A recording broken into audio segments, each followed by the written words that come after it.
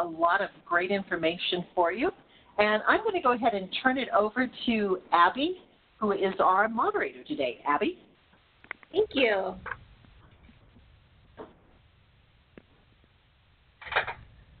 All right, I'd like to welcome everyone and thank you for joining us today for the Shrab Town Hall meeting. We have presentations today from Dan Stokes from the NHPRC and from Dennis Preisler and Laura Palma Bradford from the Arizona State Archives. Dan is up as our first speaker today, and he, Dan is the Director of State Programs for the National Historical Publications and Records Commission, also known as the NHPRC. His bachelor's and master's degrees are from the University of Cincinnati, where he studied history and historic preservation. He began working for the NHPRC in 1987 and was appointed director of the state programs in 2009.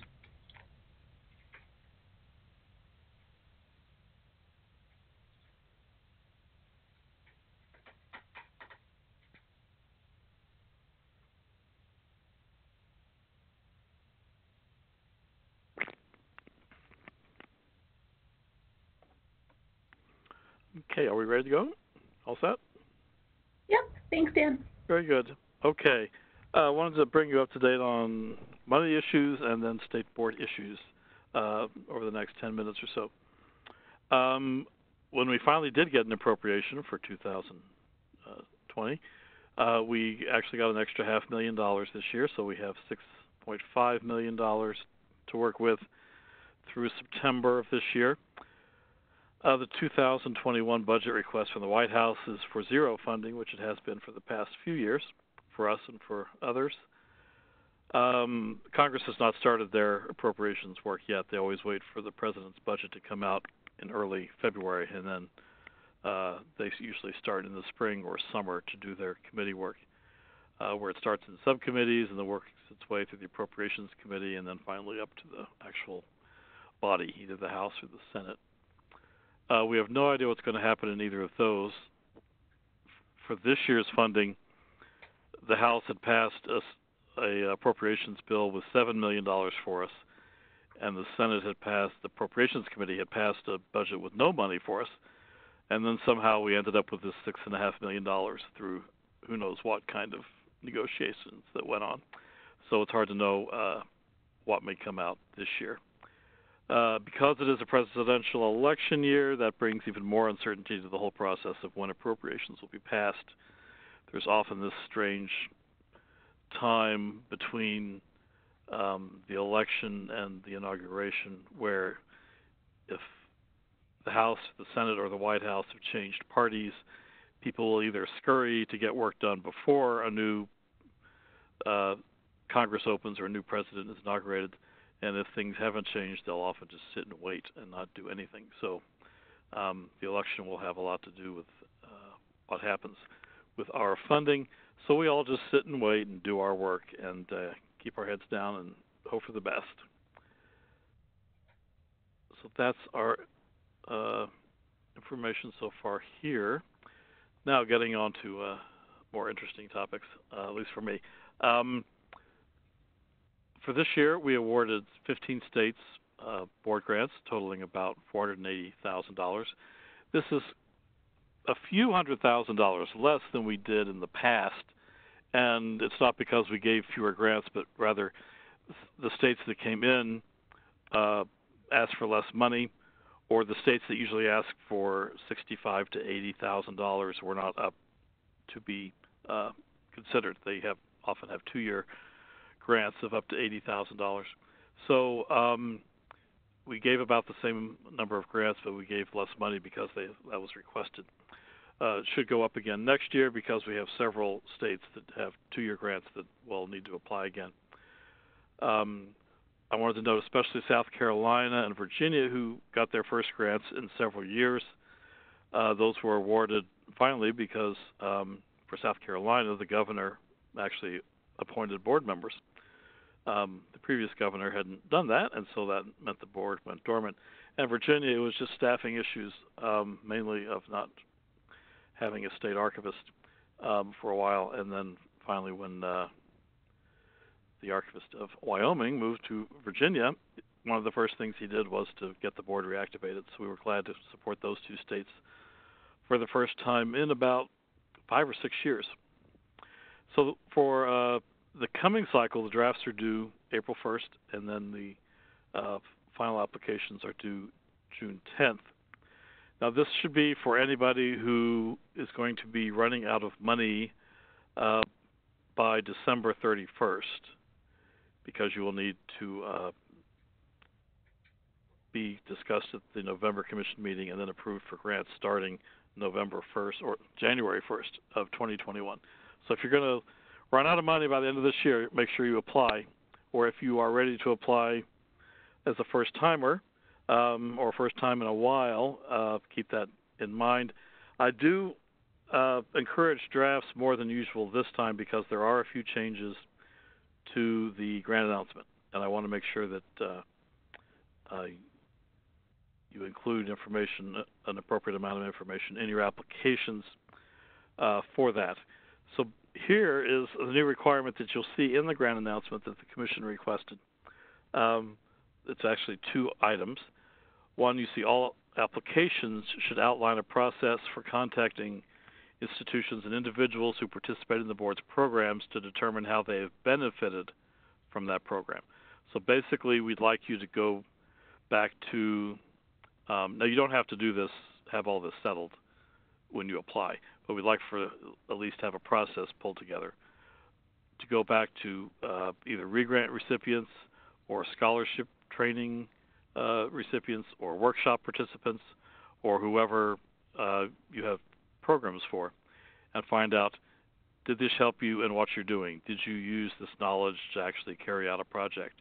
Or if it's regrants, um, did you um, work further after completing your regrant project to do more, to seek other funding, or to take on new projects. Uh, the whole idea here is we don't want uh, folks to to do a project or go to a workshop and then just stop there and not continue to advance and move forward. So we'd like to see uh, that you're going back to people and finding out from them how they benefited. The second part is you should have a process for evaluating your programs, determining their effectiveness, and proposing changes. Uh, basically, this is because boards tend to do the same thing year after year, which may be working out fine, but we don't always have the information to know that that's the case. So if you can actually have a process that where board members talk about the programming and say, you know, these we have very well attended workshops. We have three times as many regrant applications as we have funding. Everything seems to be working well. We're addressing needs that need to be met or that other people aren't addressing. That's still fine. You don't have to change your programs just to make it look like you're you're uh, um, doing something different. Uh, but also, we like to see maybe you're not getting the kind of regrant applications you should be, and either think about changing the program or changing the way you go about soliciting these applications to maybe get more.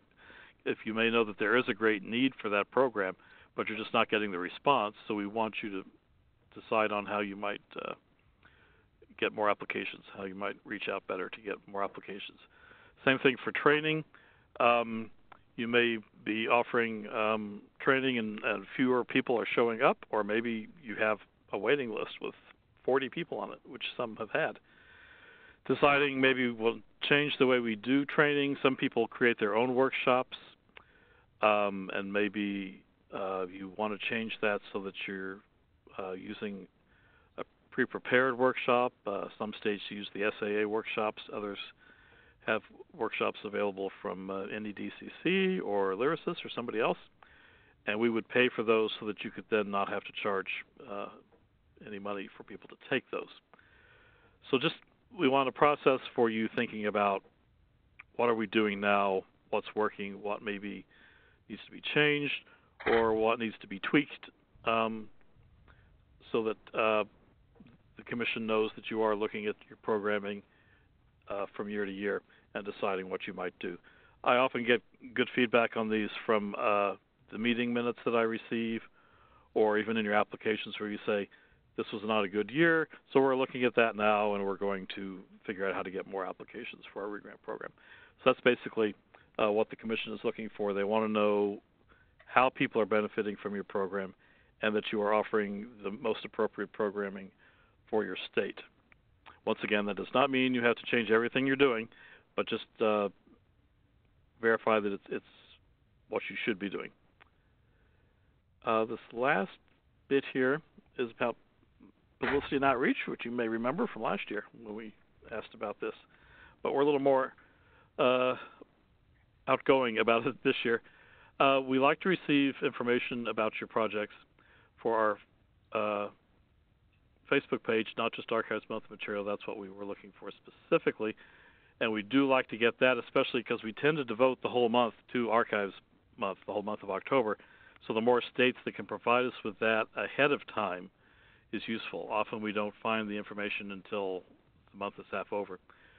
So getting Archives Month materials for that, is, but also all your other materials um, that may come out of projects once they've been completed. You don't have to wait until um, your final reports are due to let us know about re- things, uh, projects, things that have been successfully completed, um, especially those things that produce online content that we can then highlight. Um, we've had, I think, uh, Colorado and Illinois and a few other states, uh, Kansas, have been featured on our Facebook page fairly recently because of some very interesting projects that their boards have been doing. So send us that information when it's fresh and new so we can put it up. Um, obviously, also send it in your reports. But we like to get this um, so that uh, our daily Facebook uh, page features as many state board activities as possible. Another area that, that the Commission has said they want to emphasize um, is local publicity for regrants and other projects. Uh, basically, I often find that there's nothing online about projects that are uh, funded through the boards. Uh, I'll go to a regrant recipient's website, and there will be nothing there about the project, and often there will be nothing there that they even have in archives, even though they may receive three or four thousand dollars to do an archives project. There's no mention on their actual website that they have an archives. Um, there'll be things about their historical society, their uh, uh, historic site, or their furniture, or their artifacts, or their education program, but there's nothing there about the archives or that a project was done. So we want to push a little more about making sure that there is local publicity, however that may be done, on their own website or through online uh, news sites if they have uh, a newspaper with an online uh, presence, things like that, that mention both the board and the NHPRC and the National Archives. What we found is if, if they include that the money came from the National Archives, that can get picked up more broadly. If it just mentions the NHPRC, that doesn't always get as much attention. But the National Archives uh, will often give you free extra publicity because um, some other uh, outlet picked that up. So we try to have to push this, uh, and we'll be providing some more information about what we need. Um, when I read your reports, basically I'll say we were unable to find anything about this project, um, so you need to to have future applicants uh, pay more attention to this. Uh, so publicity is going to be uh, a big issue. We're going to hound you about it until you're tired of it, um, and hopefully uh, get some better uh, publicity for all of us about what we're doing, even if it is small-scale projects. They're still important locally. So that's all that I have for you today. All right, thanks, Dan. All right, next up we have a presentation from the Arizona State Archives by Dennis Preisler and Laura Palma Blanford. Dennis Preisler is the Arizona State Archivist. He has a bachelor's degree in history and political science from the University of Wisconsin-Madison. He received his master's degree and PhD in history from Arizona State University, focusing his studies on American history, public history, and the history of the American West. He began working for the Arizona State Archives in 2012 and was promoted to State Archivist in August of 2019. He is very involved in promoting and assisting the archival community in Arizona. Laura holds a BA in History from Indiana University Southeast and an MA from Arizona State University in Public History. Laura has worked at the State Archives since 2007 and became the Deputy State Archivist in 2019. Laura loves archives and is happy that she gets to use her history background daily. She enjoys spending time with her family, reading, baking, and watching Star Trek.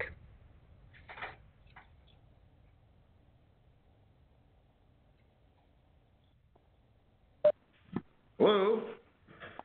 Can everybody hear us? Yes. Okay, good. So I'm Dennis Preisler, and I'll go ahead and get started with the presentation, and uh, Laura's here with me. So to the next slide. Get it. There we go.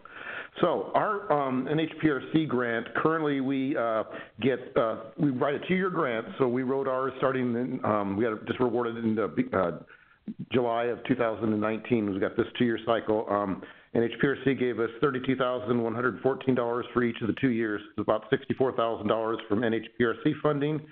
The state of Arizona provides $20,000, roughly a little bit of that, in matching funds. Um, the bulk of that matching fund is more like uh, matching salaries and that sort of thing. The uh, Secretary of State, who we report to, they do provide $10,000 in funding for our regrant program. Um, our Historic Records Advisory Board consists of 10 members, um, which is archivists, records managers. We have archivists from Arizona State University, Northern Arizona University, uh, Lowell Observatory, the Arizona Historical Society. Um, we have three uh, uh, members of the counties, records officers from the counties, so we include uh, that group as well. Um, and so uh, it's a pretty active, pretty active board. Um, we meet on a regular quarterly basis, and uh, um, we have a lot of fun. So it's, it's a great, great program. So I'm going to kind of briefly outline what we've done, and then Laura and I are going to kind of split up these different uh, topics. Um, when, I, when I've gone to COSA and talked about our our SHRAB, one of the things that people get interested in is the Arizona Archives Summit, and Laura will be talking more about that. Um, recently, we started a new program called the Professional Archivist Development Program, which is real, we're real excited about that. And starting really early on in our interaction with NHPRC, we started creating an action plan which incorporates NHPRC's goals, our own Historic Records Advisory Board goals, um, and how we, our objectives and that sort of thing, and how we're trying to meet them. It also talks a little bit about um, what we do. Uh, we have some continuing education programs that NHPRC helps fund, and we've done a number of different previous projects, which we'll include as well. So I'm going to go ahead and turn it over to Laura here.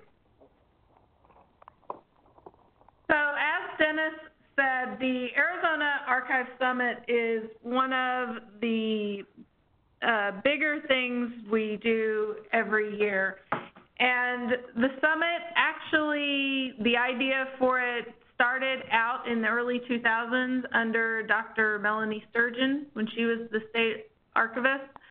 Uh, they actually, it started out as just a, a one day roundtable where we would encourage all the archivists from around the state to come down, get together, and so just to catch up. Now, in 2008, that's when Melanie uh, and I think Rob Spindler uh, from ASU, they wrote the first major NHPRC grant that covered for the summit. And the grant funding was written to accommodate travel. So archivists from outside of Maricopa County, which is where Phoenix is based, could actually travel down to Phoenix and spend more than a day here. So now the summits are two days.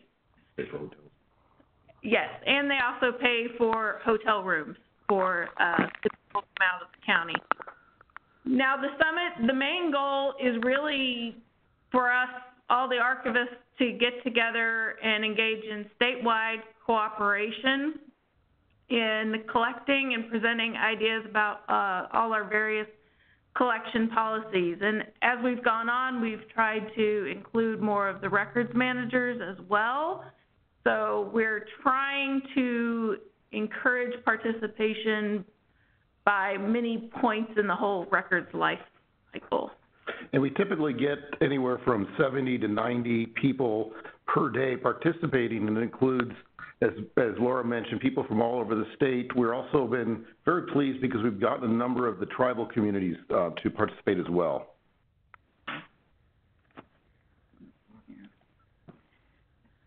So the first true archive summit was held in 2009.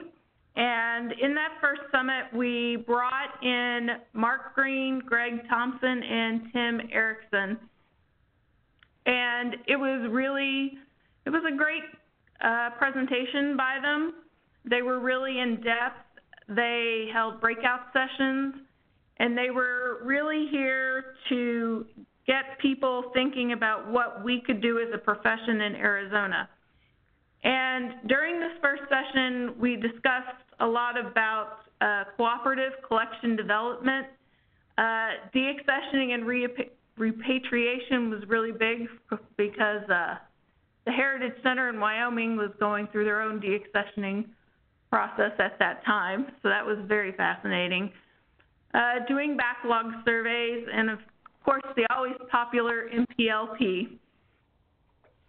And so we've held them every year. Uh, in 2013, uh, we brought in a, another partner to help put on the summit, and that's the Arizona Archives Alliance, AAZA. And AAZA's role is to help uh, with the summit by purchasing lunches and defraying some of the cost of bringing in some of those speakers.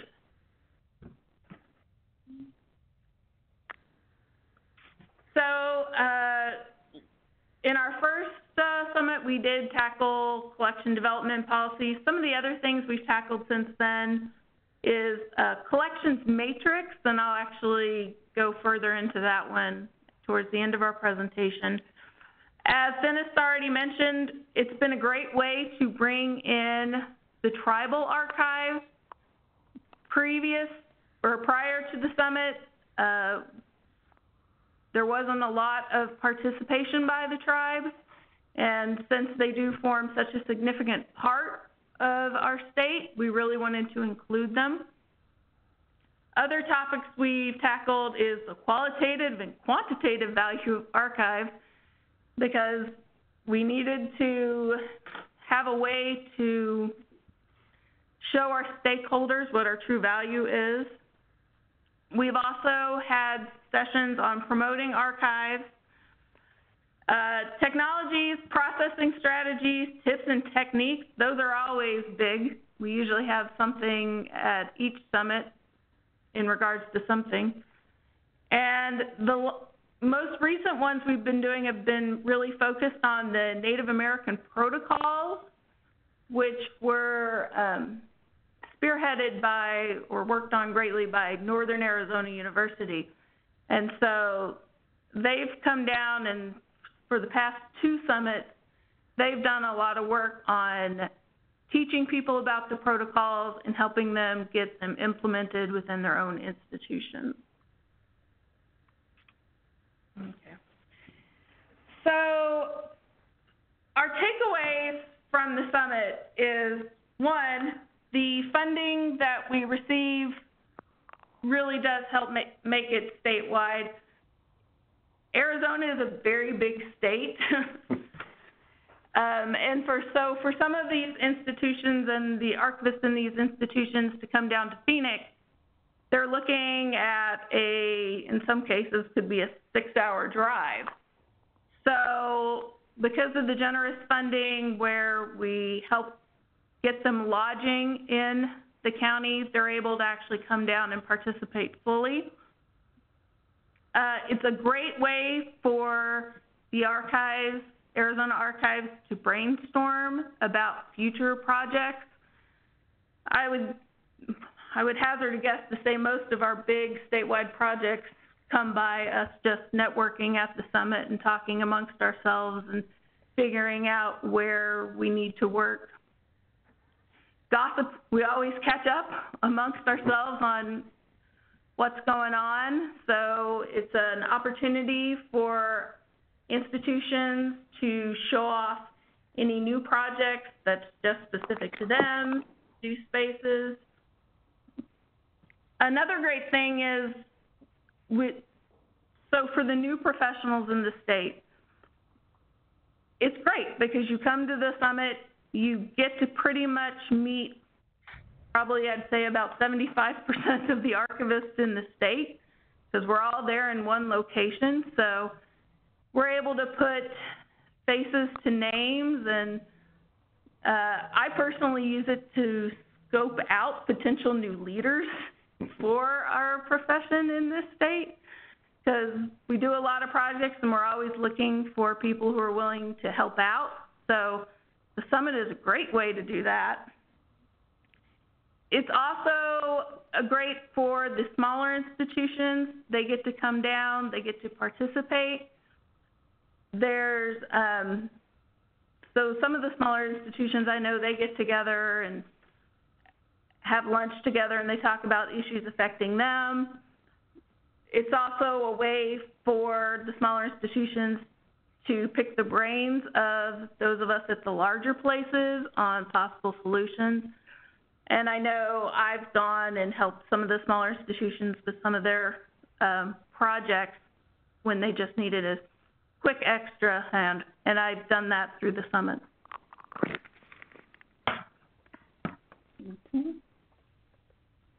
All right. So, one of the new programs that we did was, um, in, in the previous grant cycle, and we continue doing this grant cycle, was what we call the Professional Archivist Development Program. So the first round was in 2018. The idea was that we got funding um, for five uh, professional archivists to um, go into other institutions to learn a little bit about um, what the bigger institutions are doing. So NHPRC has generously given us $1,000 per participant to defray cost of room and board, hotel, traveling, that sort of thing. Um, and uh, so it's, a real exciting program. We did have some issues getting off the ground first year because uh, a lot of the institutions were a little nervous about accepting them, thinking it was an intern program. I'll talk a little bit about that later. But uh, what it is is for practicing archivists to um, come to an institution for a week and so archivists from smaller institutions will go to the larger institutions, and the larger institutions are the State Archives of Arizona, Arizona State University, Northern Arizona University, University of Arizona, the Historical Society, and this last year we had the Center for Creative Photography participate. So we get archivists who oftentimes are lone arrangers and that sort of thing, uh, and or in small institutions or don't have all the professional background but have some, and they get to work in the larger institutions and they work with everything from accessioning to reference work and uh, processing that sort of thing. Um, what we do is, uh, we, when the participant uh, uh, applies, we make sure that they they check with their boss first because they're going to be away from week, work for an entire week, and uh, that's something that we don't want to have an issue come up about that. Um, so that's a real interesting thing. Now, the archivist, what they do is we have an application process. The um, interested archivist will submit the application, and they, in the application. There's a list of skills that they want to do, everything from accessioning to processing to reference work to, it's, I think we've got about 15 or 20 different skill sets. Um, we have a committee which consists of members of our, our SHRAB um, that they go ahead and they take the archivist, they determine who is qualified, and then they end up going uh, and talking to institutions to try to match them up with the archivist and what their skill set. So it's it's real important that what we're trying to do is make it a very productive week for both the archivist and for the um, archival institution. Um, some of the uh, takeaways are that uh, skills tackled by applicants. We got a lot of people who are interested in electronic records. Um, uh, collection management systems is, are also very, very important, and you can see appraisal and accessioning conservation. Um, it's good for the accidental professions who we had uh, a woman, Betty Murphy, from uh, the Heard Museum, and she, by her academic training, is a librarian, but she accidentally has become the uh, archivist for the Heard Museum.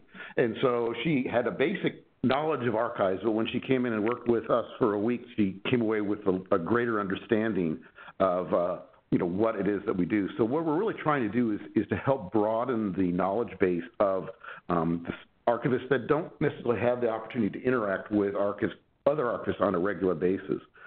Um, we're looking at wanting to expand it possibly into doing some stuff with records officers because many of our records officers deal with permanent and archival records, so we're trying to help get them involved in what we do. The biggest thing is it's not an internship. Um, that was when I kind of mentioned earlier that we had a hard time the first year getting institutions to line up. Everybody said, we don't have time for an, for an intern. And uh, so the first year we, we managed to get um, uh, Kelly Horton came in. She was from Scottsdale Public Library. She came to the state archives. She worked for a week. At the end of the week, she wrote a report. And then uh, uh, myself, I wrote a report too about what we did, and that gave the committee something to base it on when they went out to, to uh, try to encourage um, both participants and participating institutions. So since then, we've had no problem getting either participants or participating institutions um, involved. At this point, it's just limited to in-state host institutions. It would be really cool if we could have some people out of state, but that's not part of the way the grant is set up. Um, but with the thousand dollars, we can bring somebody in from, say, Mohave County, which is across the state, as Laura mentioned, and they can come in and they spend a week in Tucson or Phoenix and get to know it. Now, one of the things that we have found um, more than anything is the feedback that I've gotten is both the institution and the archivists participating have said a lot of it is just interacting because these smaller institutions they don't necessarily have they may be the only one archivist in the museum or historical society and they don't get a chance to really talk and interact with um, other archivists. So that's been a real positive thing and it's helped us to grow a real sense of togetherness amongst um, our, uh, the archival community here in arizona. So that's that's really important part of the whole thing. Um, We've got we've done five of these so far, and it's been very positive. Right now, the uh, subcommittee is um, looking at doing two more this spring, um, and so they're they're in the process. They've got three applicants, and they're going to decide which of the two applicants, and then they'll line them up with the institutions. So it's a real fun program. It's new. Um, it has been there's been a few bumps in the road, but we've managed to uh, navigate everything. So it's, we're real happy with this.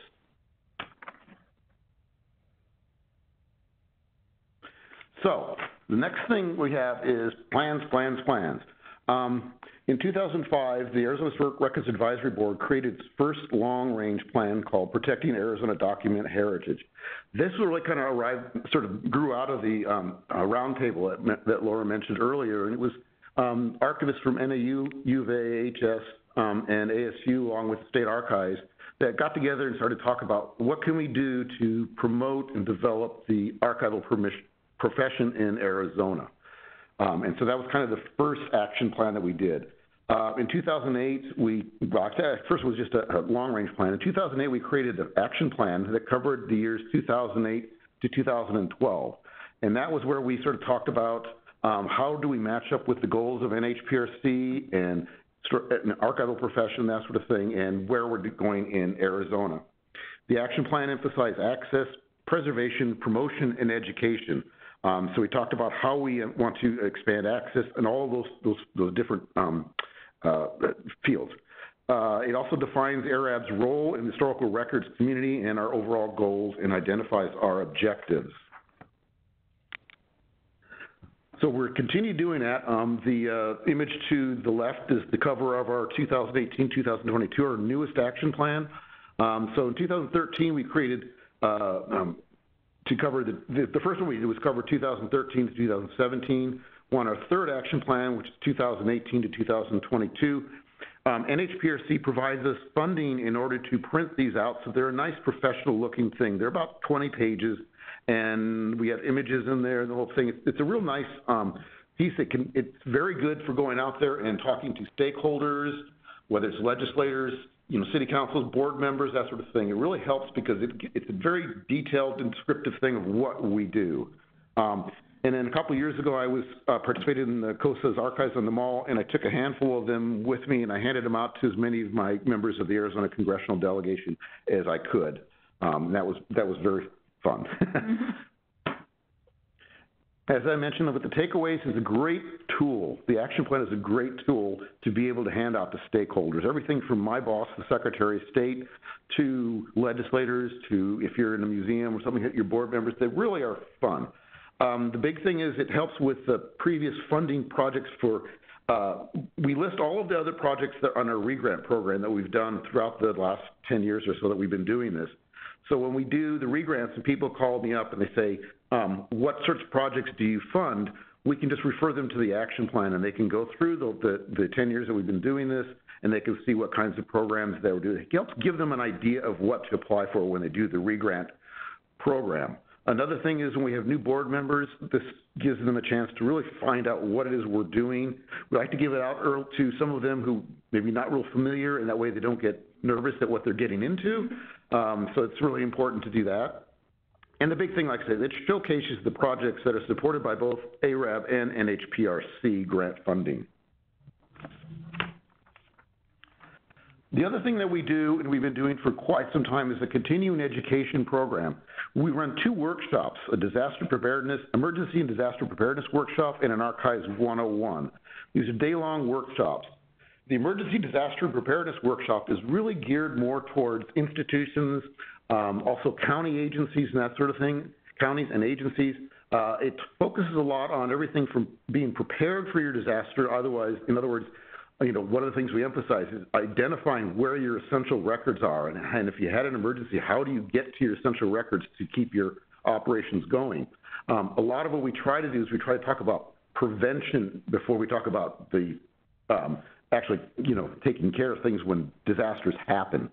Um, and we found that they, we actually get a lot of interest from institutions, facilities people, and risk people because we talk a little bit about risk avoidance and um, about uh, you know how to look for, throughout your building to see where the potential problems are. Um, and then we have some good workshops, uh, good information about how to deal with a disaster when they happen. Archives 101 is really geared more towards small institutions that don't have a professional archivist on staff. Arizona, we have uh, just have dozens and dozens of small institutions that have, are run by volunteers, maybe have one paid staff person and are staffed by volunteers. And so the 101 goes out there and we talk about everything from how to properly folder um, uh, documents to how to create a processing plan. I mean, we talk about how to properly remove staples. It really gets down to some of the you know, nitty gritty. Um, and we really like to have, um, we're going to talk a little bit about our regrant program later. We emphasize with the smaller institutions that if they want to apply for a regrant, if they don't have a professional archivist, we want them to um, participate in an Archives 101 class so that we make sure that they have at least a basic hands-on knowledge of how to be an archivist. And so this is really quite popular. We usually we do three disasters and three archives a year, and we'll get anywhere from eight to 15 people in each one. Um, so they're really good. And NHPRC provides funding we give them um, a small, one of the small flip-top boxes, um, and in the um, Archives 101, we have a, the proper type of acid-free folder. We have some cotton gloves. We have um, the proper eraser, the, uh, the proper tool for removing staples, and a few other things like that. So they come away with a little bit of a, you know, a, a gift.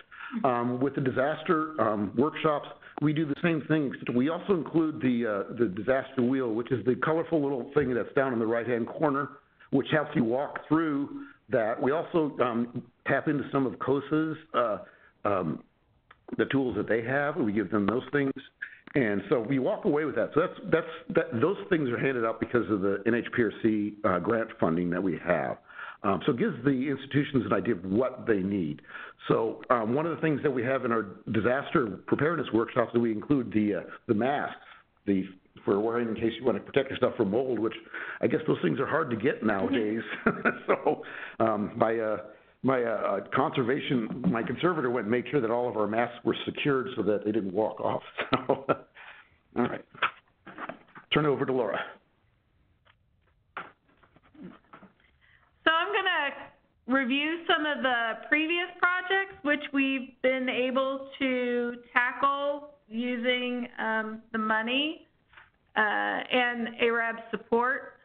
One of the big ones was the Landmark Cases Committee.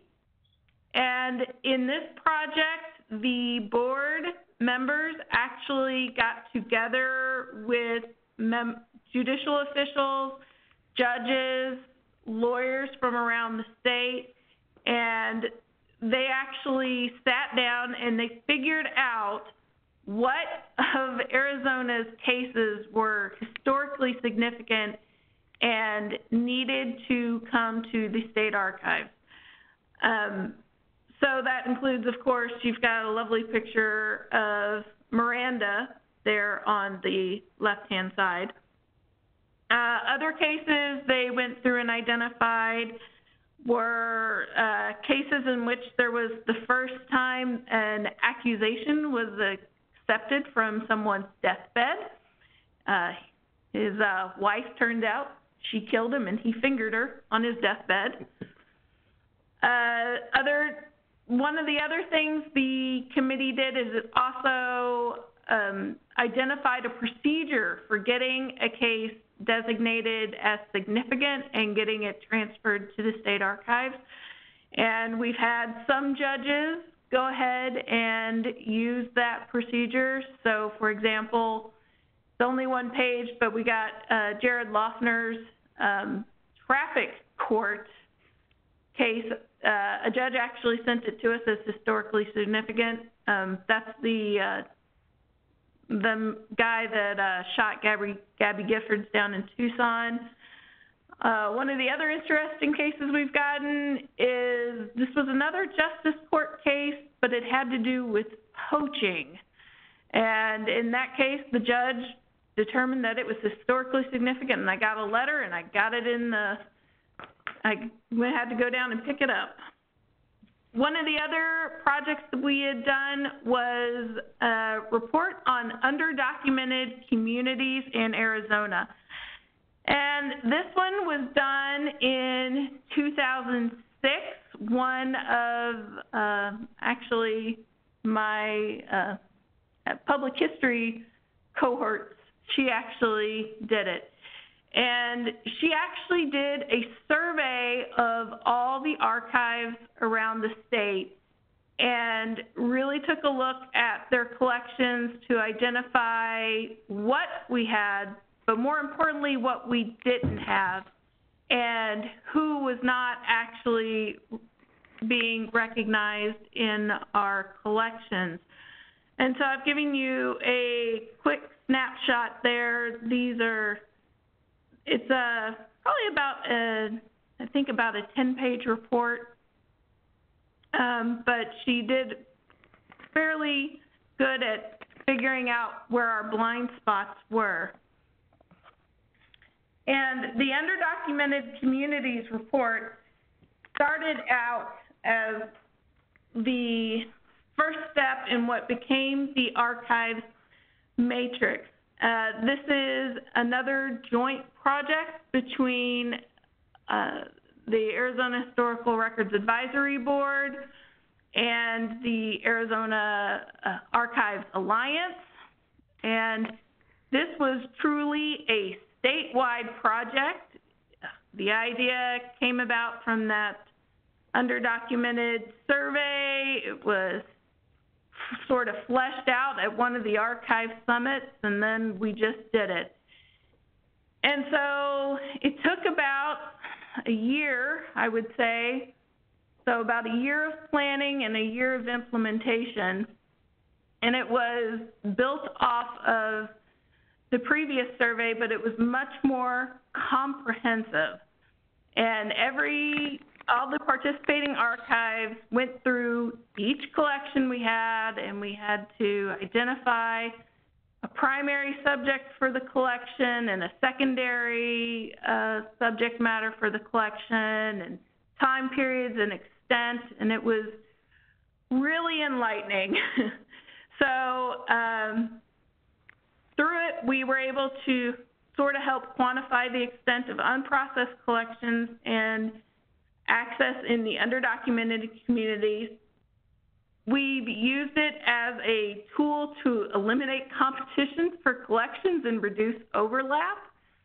We've discovered that some of us had dueling collections of the same thing, and in some cases, we've determined who should be the actual repository for those records. Uh, it was an exercise for those institutions that didn't have a defined collecting scope. Researchers, and I've used it for our researchers as well, it's a great tool because it provides a snapshot. They can search it to identify collections that they cannot find through traditional means because the matrix did cover some of the backlog and unprocessed stuff. Uh, and as I said before, it does identify the split collections and reunite them with each other. Now, I didn't link to the website, but the website is listed on this slide that you can go to. And if you do it, all the data was made available through this website. And if you go to the website, you can download all the results, you can search it by institution, you can look at it by subject matter. Uh, if you want to find something in an Arizona archives, it's going to most likely be listed in the matrix. Uh, the data is about 10 years old now, and I have heard at our last summit there's talk about updating it, which would be another year-long project. But I found that when we can convince the archives community that it's a valuable resource, they'll get behind it and work on it for us. Okay? So the last thing we're going to talk about is the uh, our grant program, our regrant program. Um, uh, we started it out uh, early on. Uh, we got a ROTA grant, and NHPRC gave us $10,000 initially, and uh, we tried to match it with $10,000 of uh, state funds. Um, the first year we just had the $10,000 because we were getting it off the, off the ground. So we had five institutions receive grants ranging from $100 to $3,260. In 2017-18, when we wrote, rewrote our, our NHPRC grant, we increased the request from NHPRC to $15,000, and we continued to match it with $10,000. Um, this has been a really fun program. As a member of the ARAB board, this is where you get to have fun because you get to look at stuff and, and, give out money and look at worthy uh, applicants. Um, we can get up to uh, applicants. In many years, we'll have up to seventy to eighty thousand dollars worth of application funding applications. So the board has to work really hard to be able to winnow it down to twenty-five thousand dollars. One of the things that I do as the coordinator here is if it's a new institution um, applying for the first time, I will often go out and visit with them to make sure that what they're applying for actually falls within the guidelines for NHPRC and ARAB. Um, so, for example, we had an institution that wanted to bunch of purchase a bunch of archival boxes. When I went out to look at the institution, it was all they wanted to house magazines in the boxes, and I had to say, no, we don't fund that. Um, but I do work closely with them to try to find ways to get funding out there. And uh, we've had some real fun uh, uh, projects uh, a few years back. The White Mountain Apache tribe, they asked for $500 just for some boxes. And so I was able to work with them, got a chance to meet with the, uh, the tribal community and that sort of thing. Um, we've had a number of uh, grants wanting to purchase data loggers. Um, we do some digit, they, you can do some digitization projects, that sort of thing. Um, there's a real cool project that we did last year, um, Lowell Observatory, which is up in Flagstaff. And if you don't know, Lowell Observatory was the one of the astronomers there who was the first person to observe Pluto.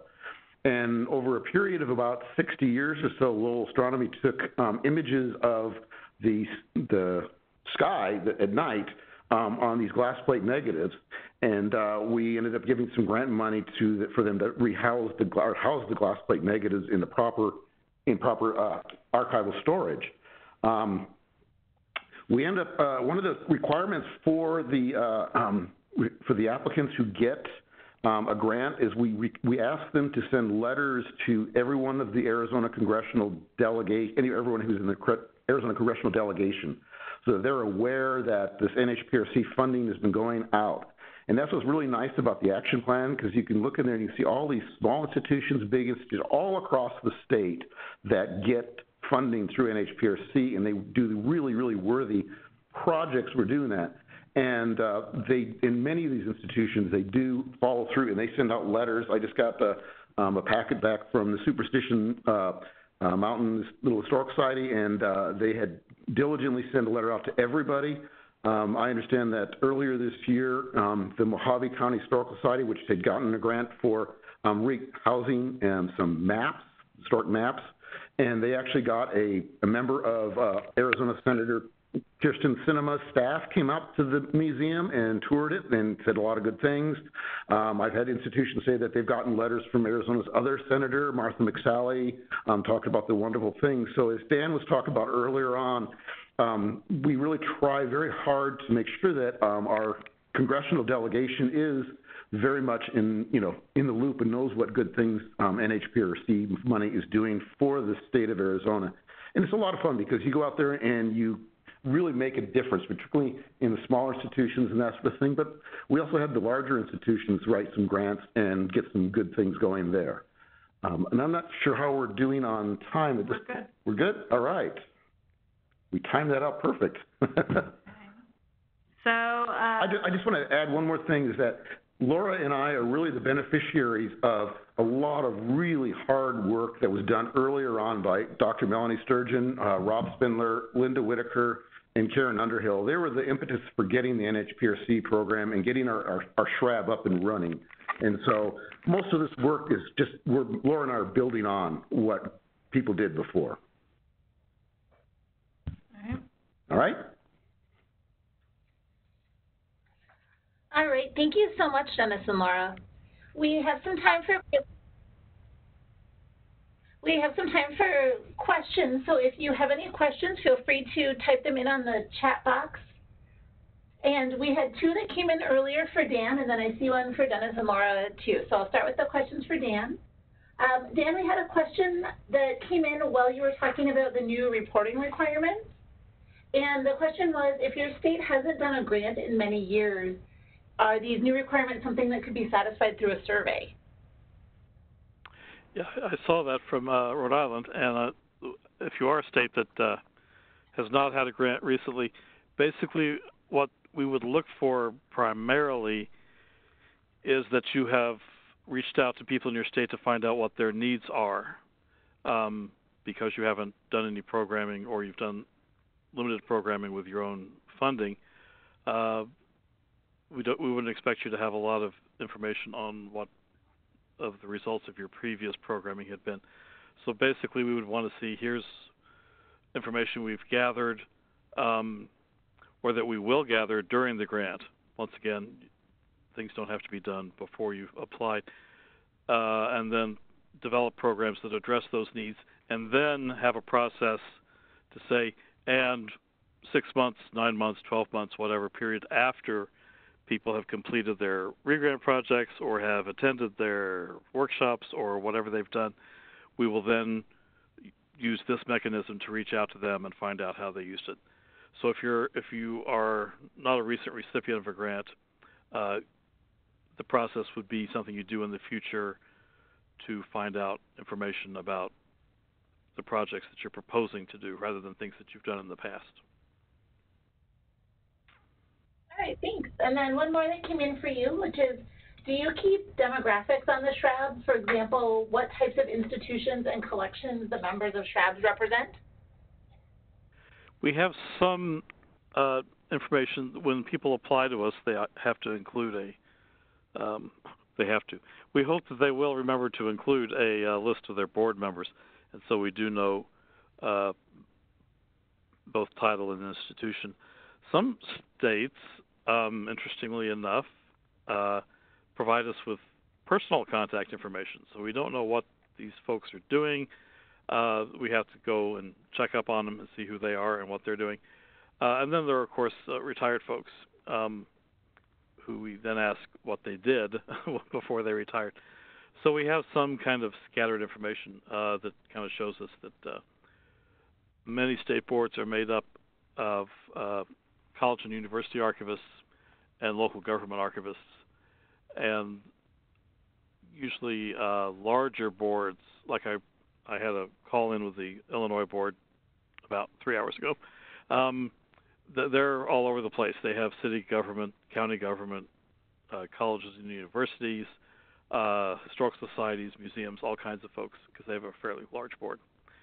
So we have some information, and if you're kind of interested in knowing, you know, what kind of people are on other boards, um, we can share that with you since that uh, they're um, professional information we can share. We can't share the ones that have personal information.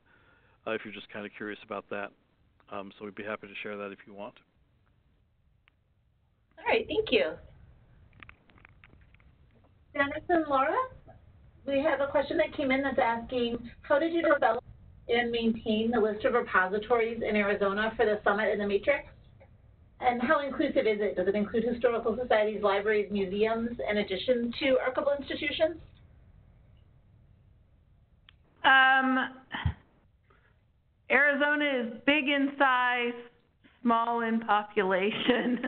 um, so the list of repositories for the matrix are primarily institutions that are archives heavy. That is their primary focus. We didn't include the libraries and um, the museums in the matrix. So the matrix is strictly the archival repositories. Now, for the summit list, uh, we piggyback off of, I mentioned earlier, the Arizona Archives Alliance, and that's a nonprofit that uh, many of the archivists belong to, um, and so we, AZA itself funds some other small projects throughout the year, and we piggyback, piggyback off the AZA membership, so we capture a lot of the archivists that way. Uh, also, a couple of our board members, so we've got Janice Klein, she's with the Museum Association of Arizona, and so she spreads the words out to the museum community. And then uh, in some cases, we use our own resources because we have, one of our duties is, of course, is records management. So we uh, send out emails to the records managers through their contacts and then the state library, we are uh, uh, we're a division with state library is another division in our agency, so we use some of their resources to get the word out. All right, thank you so much. Thank you to all of our presenters today. Well, thank you for inviting us. Yeah, and I'm going to turn it over to Lisa.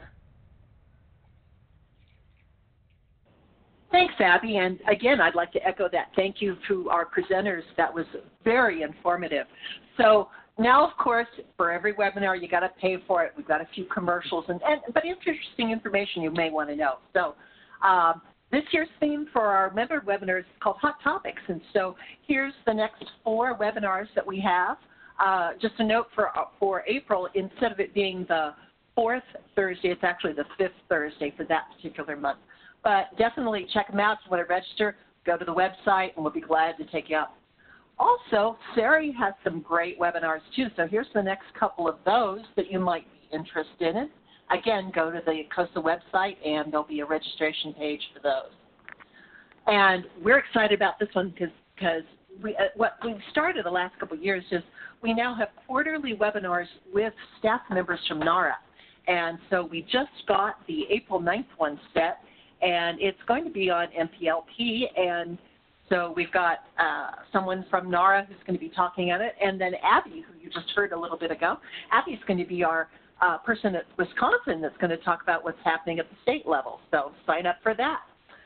And then another thing COSA does is we allow a number of our uh, sponsors, uh, if at a certain giving level, an opportunity to reach out to you, the archival community, and so April 2nd will be one of those shop talks, them to, to, it's not a sales pitch, but it's a way for them to share what they are working on. And so April is going to be, uh, Ancestry has a division called newspapers.com, and they're going to talk about what they do and some of the neat things that have been happening in there that might be of interest to archivists around the country and the world.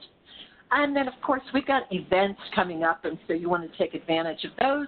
Uh, Sunshine Week uh, best practices if you're looking for a great place to uh, exchange ideas and get some information in Raleigh, North Carolina this year. Uh, COSA mid-year board meeting is, is meeting in Washington, D.C. in April, and then they'll also have the Washington partners briefing. So uh, that'll take place then. And then Uh, NAGARA's conference is in Denver in July, and our own annual conference, along with the SAA meeting, will be in Chicago in August. Naturally, we can't do any of this work without funding from our sponsors, and we appreciate all of you, so thank you to our sponsors. And we want to hear from you. We want you to stay connected to us, and there's lots of ways you can connect to COSA, so these are just several of them. We do appreciate your feedback. So it's very important if you when you get when you exit here and you get that little story, please take a minute and finish out. It really does help us as we put together new programs. The education committee looks at it and it helps them identify what are what are we providing for you, what do we need to do more of, what would you like to see. So do please take a minute to do that. And with that, I'd like to thank everyone for joining us today. Uh, thank our presenters. It was informative, lots of great ideas. If you've got a SHRAB, and you know things you could be doing, things. So we are going to try and see if we can send out that action plan um, to everyone. But if not, I had put my email in there, so you can just email directly, and I'll make sure you get a copy. So thank you everyone for joining us today. Have a great rest of the day, a great rest of the week, and enjoy your extra 24 hours. So everyone have a great week. Thank you for joining us for the COSA February member webinar.